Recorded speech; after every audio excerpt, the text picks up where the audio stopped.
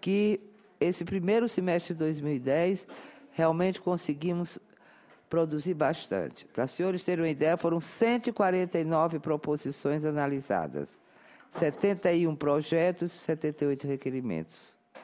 149.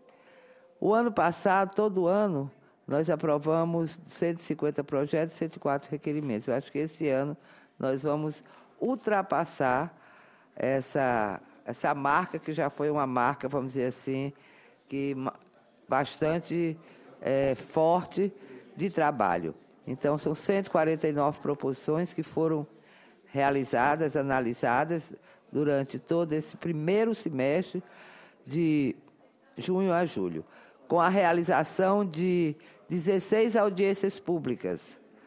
Audiências públicas importantes, senador Monsanta, como aquela que tratou aqui desse avanço, infelizmente, do consumo do crack no Brasil, fazendo despertar, convocando a sociedade, a todos, para que possamos dar as mãos na luta contra o crack, que é algo que vem é, causando os maiores prejuízos à sociedade brasileira, e principalmente à nossa juventude, à família.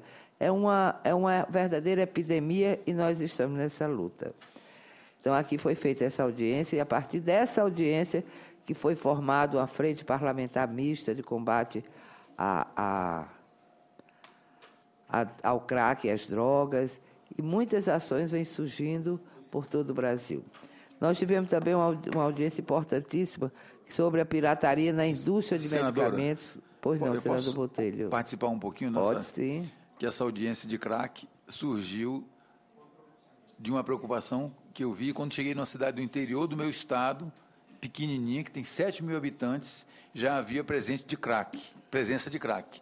Aí eu me interessei para ver como é que estava, disseram que havia talvez mil, 1 milhão e 200 mil usuários de crack no Brasil. Foi isso que provocou essa audiência que gerou tudo isso. Foi um é verdade. Uso de crack na cidade de Alto Alegre. tem que fazer justiça a essa questão que o senador aqui levantou e nós abraçamos, que essa causa é de todos nós e precisamos sim de políticas públicas, nós precisamos de que o governo federal destine mais recursos tanto para na área de saúde para o tratamento.